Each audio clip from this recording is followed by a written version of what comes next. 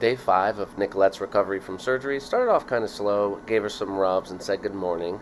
She turned on her lights so we could see, and today's focus was biopsy results to see if she has infection or not. I did my stretches, checked to make sure she was good, got her breakfast, and then it was time to go clean up a little bit so I can go do some stuff. So I took a quick shower. It was time to go to our camper van. I had a little bit of a snack, then started cleaning up a little bit just so it's nice. Put my laundry away, and got a change of clothes because I got to stay clean. Nicholette was eating lunch and watching her show.